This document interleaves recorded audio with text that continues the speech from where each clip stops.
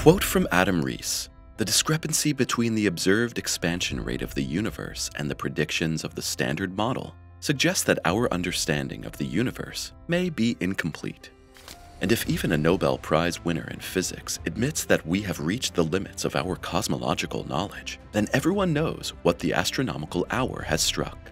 Indeed, the James Webb Telescope has recently confirmed once again that the universe simply does not behave in reality as it should in theory, and is expanding significantly faster than our models allow. Today, we'll show you what this so-called Hubble tension is all about and why it's so problematic for our overall understanding of the cosmos. So stick around until the end if you want to know what solutions the experts are proposing and why Albert Einstein may have been dramatically wrong on a fundamental point. First of all, let's address a simple but crucial question. How do we even know that the universe is expanding? Well, to understand this, we need to turn back the clock about 100 years and dive straight into an era of profound change. At that time, many renowned physicists such as Albert Einstein were still convinced that the universe was neither expanding nor collapsing, but rather embodied a completely static construct that would remain rigid and unchanging for eternity. And yet, even at that time, there were bold, dissenting voices. These included the Belgian priest and astrophysicist Georges Lemaitre, who showed that Einstein's general theory of relativity could be used to develop a mathematical model describing an expanding universe. The decisive advantage here was that Lemaitre had made a prediction that could also be observed in reality. If the cosmos really is expanding, the other galaxies in space must be moving away from us, just as the dots painted on a balloon move away from each other when it is inflated. At the same time, the light from the galaxies would be stretched on its way to us and the wavelengths would be elongated, and the light reaching our earthly eyes would ultimately be redshifted. In the years that followed, a certain Edwin Hubble actually succeeded in confirming exactly this. Careful observation of numerous galaxies at the Mount Wilson Observatory in California had shown that light is indeed shifted toward the red end of the spectrum, and that the expansion of the universe was therefore practically verifiable. For a better understanding, it should be briefly mentioned that the cosmos is not expanding into an already existing space, but rather that it's space itself that is constantly growing larger. And as if this discovery were not groundbreaking enough in itself, it was also linked to a no less revolutionary conclusion. If the universe is really expanding continuously, then, looking back, it must also have had an origin. In other words, a tiny starting point from which everything once emerged. Today, we know that tiny starting point as the original singularity. And we know that Lemaitre and Hubble were already doing pioneering work on the Big Bang Theory back then. In the 1990s, however, astronomers realized that the universe is not simply expanding, but that it is also increasing its speed of expansion. This surprising and confusing fact demanded answers. To explain this unexpected acceleration, experts postulated the existence of dark energy, a force that remains mysterious to this day and is believed to counteract the force of gravity. The problem of Hubble tension. This naturally raises the question of how fast the universe is actually expanding in detail. And although this simple question may seem rather trivial at first glance, it actually goes to the heart of a research puzzle that has been puzzling experts for many years. But first things first. Basically, galaxies move away from each other at a speed that is proportional to the distance between them. In other words, if Galaxy A is twice as far away from Earth as Galaxy B, the distance between them also increases twice as fast.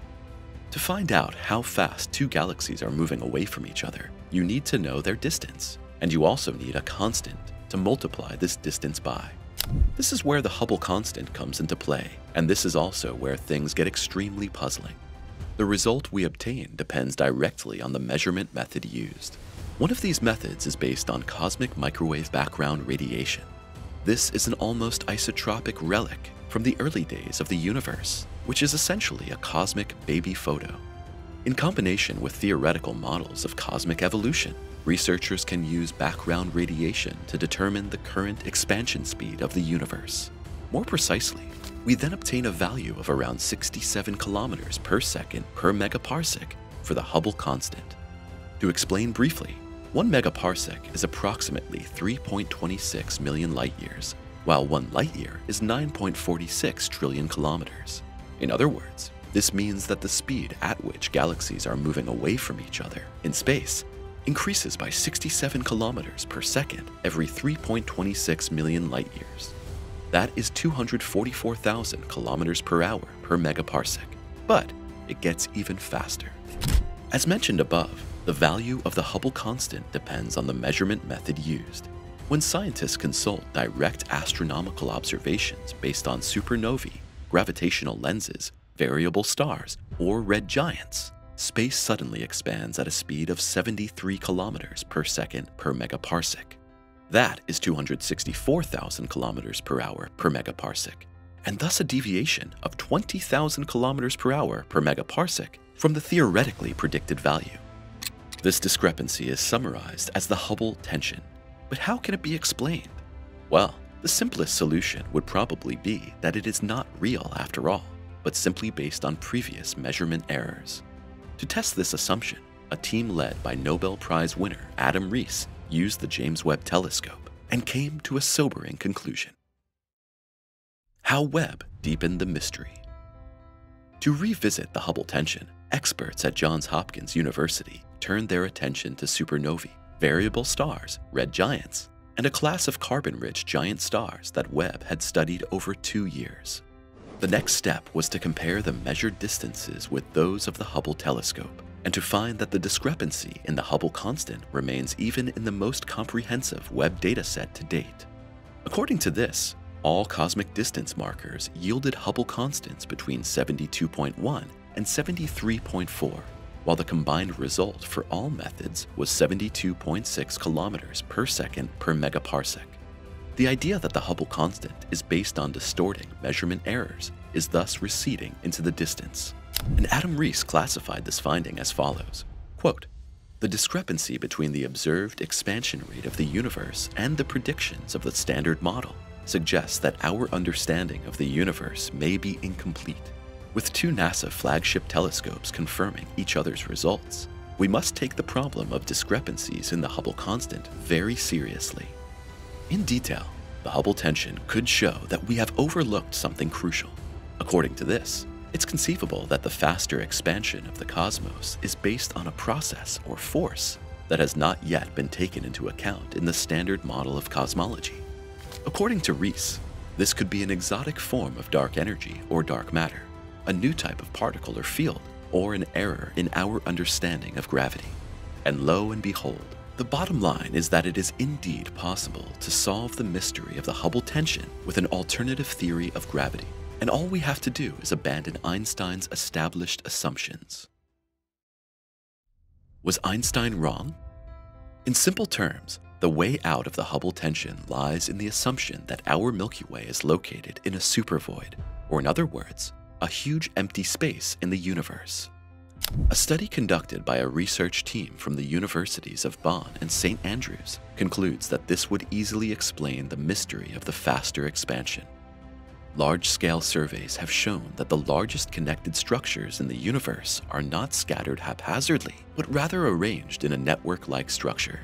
The lattice of this cosmic web forms what are known as filaments, which, together with the voids, span enormous, virtually matter-free bubbles. To show how this constellation makes it possible to solve one of the most perplexing research puzzles of our time, the researchers compare the Milky Way to an air bubble baked into a cake. Since the matter density around the bubble is much greater, gravitational forces emanate from it, pulling the galaxies inside toward the edge of the bubble. Applied to the Hubble tension, this means that the galaxies are moving away from us so much faster than predicted because they are subject to the effects of a local underdensity. So far, so logical. But unfortunately, there is a crucial flaw in this hypothesis. The standard model simply does not provide for such underdensities or voids. Instead, matter in space should be evenly distributed. But what if our standard model does not correspond to cosmic reality at all? Well, the authors of the study asked themselves the same question. They pointed out that the standard model is based on a theory of gravity proposed by Einstein, and that the creator of the theory of relativity was perhaps not infallible. it may be that gravitational forces actually behave quite differently than Einstein expected. And so it came to pass that the experts resorted to a modified theory of gravity in their computer simulation, more precisely, to modified Newtonian dynamics, or MOND for short. Introduced in the 1980s by Mordechai Milgrom, MOND describes the rotational behavior of galaxies through modifications in the equations of motion of matter in the gravitational field, and thus completely dispenses with the mysterious dark energy. However, the alternative theory also predicts gigantic voids in space, and this is precisely the decisive factor in relation to the Hubble tension. If gravity really behaves as described by Milgrom, there would in fact only be one constant for cosmic expansion, and the observed discrepancy would be due solely to irregularities in the distribution of matter. Despite all this, Mond still hasn't made it past the status of an outsider theory, and it remains to be seen to what extent it will prevail against the established assumptions of Einstein and company in the future. And speaking of asserting yourself, by clicking on the right button, you'll never miss a new video from us again. So go ahead and click on the thumbs up and subscribe to stay up to date from now on. See you soon.